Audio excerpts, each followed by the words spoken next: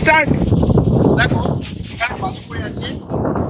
এই বালি যে যথেষ্ট গরম হয়ে যায়, আসলে বালি কখন করতে থাকা যে বায়ুমণ্ডল রয়েছে সেখানকার ঘনত্ব কমে যায় রয়েছে উপরে রয়েছে তো উপরে অনেক ঠান্ডাই থাকে তারপর উপরে যে বায়ু রয়েছে তার অনেক বেশি থাকে সুতরাং এখানে তাল গাছ থেকে যখন কোনো আলো আসে তখন সেটা গণমাধ্যম থেকে লঘুমাধ্যমে প্রবেশ করার ফলে আবহাওয়া প্রতিফলন হয় আমি তোমাদের একটু দেখাবো যে একটা আমাদের থেকে কত ধরো আমার হাইট ধরো সব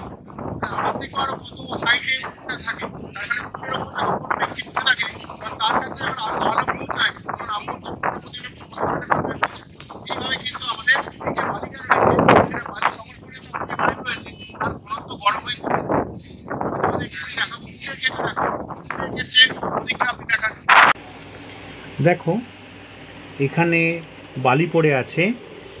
এই বালি সূর্যের তাপে প্রচণ্ডভাবে গরম হয়ে যায়।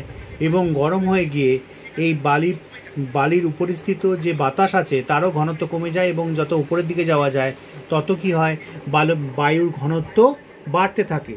সুতরাং কোনো খেজুর গাছ থেকে আসা আলো যখন আসে, তখন সেটা ঘন মাধ্যম থেকে লঘু মাধ্যমে আসে। ফলে তখন কি হয়, সেটার আভ্যন্তরীণ পূর্ণ প্রতিফলন হয়। ঠিক আছে? তাহলে সেটা আভ্যন্তরীণ পূর্ণ প্রতিফলন হয়ে মানুষের চোখে আসে অথবা কোনো উটের ওপর বসে থাকা কোনো দর্শকের চোখে যায়।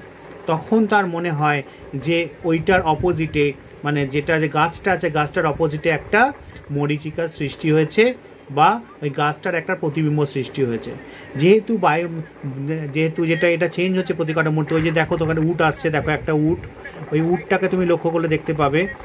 যে উটের উট মোটামুটি দশ ফুটের কাছাকাছি উঁচু হয়। তো এবার যখন একটা গাছ থেকে যে আলোটা আসছে, সেটা আভ্যন্তরীণ পূর্ণ প্রতিফলিত হয়ে উঠের মানে উটের ওপর বসে থাকা কোনো দর্শকের চোখে যায়, তখন সে দেখে যে গাছটার একটা উল্টো প্রতিবিম্ব তৈরি হয়েছে এবং যেহেতু বায়ুমণ্ডল প্রচণ্ড গরম মানে বালির সংস্পর্শে সংস্পর্শে থাকা বায়ুমণ্ডল যেহেতু প্রচণ্ড গরম থাকে, সেজন্য কি হয়, সেটা প্রতি কটা মুহূর্তে আমাদের যে ইমেজটা আছে সেটা কাঁপতে থাকে।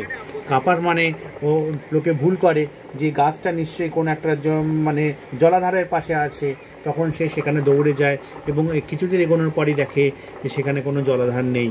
এটাকেই বলা হচ্ছে মরিচিকা।